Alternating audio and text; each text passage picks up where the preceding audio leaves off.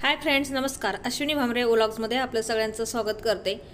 आता तुम्ही मागचे दोन व्हिडिओ बघितलेच असाल. एक पहिला तर आहे स्वामी समर्थांचं गुरु गुरुपीठ त्र्यंबकेश्वर नाशिकमधील. आणि तिथून आता आपण पुढे त्र्यंबकेश्वरला त्र्यंबकेश्वरांचं दर्शन झालेलं. आहे आणि आता त्र्यंबकेश्वरचा व्हिडिओ आपण इथं एंड केला होता. आता इथून पुढे एकदम हाकेच्या अंतरावरतीच आपल्याला गजानन महाराजांचं मंदिर आहे.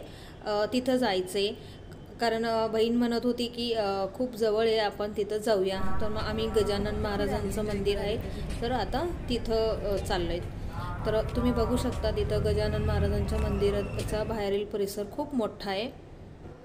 मी नाशिकशीच नाशिकचीच असून पण मी नाशिक सिटीमध्ये कधी फिरलेली नव्हती.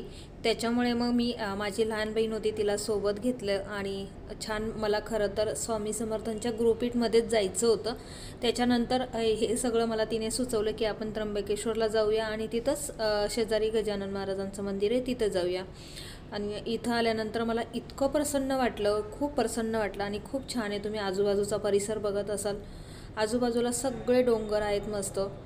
आणि एकदम गुरुपीठवरून आपण निघालं की तिथून दोन अडीच किलोमीटरवरती त्र्यंबकेश्वर आहे. आणि त्र्यंबकेश्वरवरून आपण निघालो की हा अगदी हाकेच्या अंतरावरती इथं गजानन महाराजांचं हे मंदिर आहे.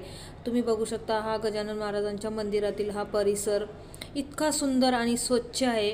बघूनच मन असं प्रसन्न होतं आणि गजानन महाराजांचं मंदिर हे इतकं छान असं सुंदर आहे.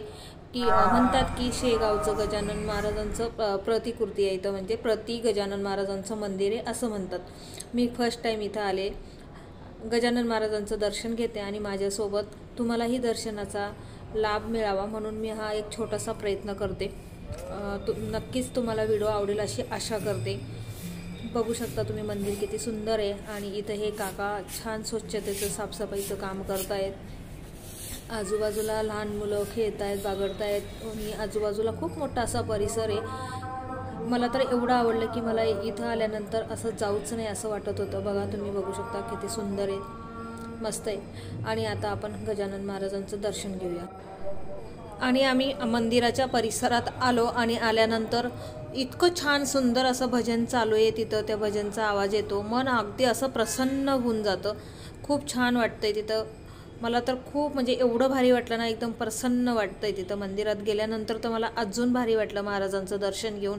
आणि त्यांचं जे भजन चालू आहे तर ते कानावरती शब्द पडतात ते अजून भारी वाटतंय. तर अशा प्रकारे आता आम्ही दर्शन घेतो आहे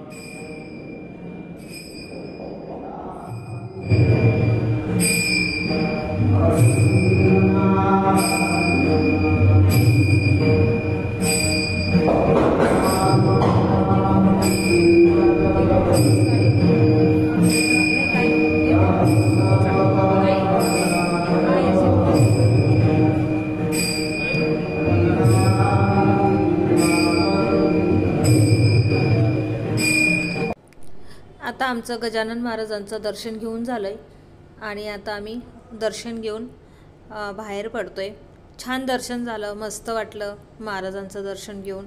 खूप आज इतकं म्हणजे माझं नशीब एवढं छान होतं. एकतर गुरुवारचा दिवस होता. गुरुवारच्या दिवशी माझं स्वामी समर्थांच्या गुरुपीठमध्ये दर्शन झालं. त्याच्यानंतर त्र्यंबकेश्वरला दर्शन झालं. त्र्यंबकेश्वरवरून निघाल्यानंतर मला इथं गजानन महाराजांचं छान असं दर्शन झालं. म्हणजे खूप असं खूप दिवसांची इच्छा होती माझ्या नाशिकला स्वामी समर्थांच्या गुरुपीठला जायची. ती पूर्ण झाली आणि त्याच्यासोबत बाकीचे एवढं सगळं मला दर्शनाचा लाभ भेटेल. ही मी कल्पनासुद्धा केलेली नव्हती. पण बहिणीमुळे शक्य झालं मला. बहिणीने तिला सगळं माहीत असल्यानंतर तिने मला छान असं फिरवलं नाशिकमध्ये. मलाही दर्शनाचा लाभ भेटला. आणि चला म्हटलं तुम्हालाही दर्शनाचा लाभ मिळावा म्हणून मी एक छोटासा प्रयत्न केला व्हिडिओ बनवण्याचा. आशा करते तुम्हाला व्हिडिओ आवडला असेल. आता तुम्ही बघू शकता मंदिराची जी कलाकृती आहे ती इतकी सुंदर आणि अप्रतिम आहे. खूप छान सुंदर आहे. आणि इतका म्हणजे इतका स्वच्छ परिसर आहे तुम्हाला अजिबातसुद्धा इथं कचरा अजिबात दिसणार नाही. कंटिन्यूस साफसफाईचं काम तिथं चालू असतं. तुम्ही बघा बघू शकता कलाकुसर किती सुंदर आणि छान आहे. आणि जी मंदिराची एंट्रीची जी ही कमान आहे ही पण खूप सुंदर आहे. आजूबाजूचा परिसर जरी बघितला तुम्ही तर किती सुंदर आणि छान दिसतोय बघा.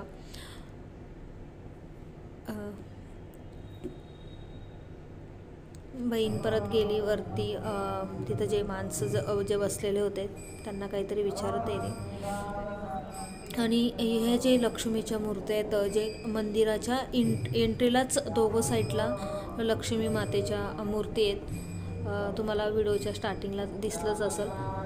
खूप सुंदर आहे. हे बघा तुम्ही बघू शकता.